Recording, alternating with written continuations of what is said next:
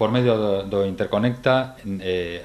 outros programas como a Estrategia Estatal para a Innovación durante o 2013 a Xunta insectará preto de 150 millóns de euros procedentes de fondos públicos en novas iniciativas de estímulo á innovación en Galicia. Eu creo que é unha aposta cuantitativa suficientemente relevante, pero o máis importante é que esa aposta cuantitativa con eses 150 millóns de euros que se mobilizarán con de recursos públicos este ano, ten que vir acompañado, lóxicamente, coa implicación do sector privado e, polo tanto, que ese aspecto cualitativo, cuantitativo perdón, se concrete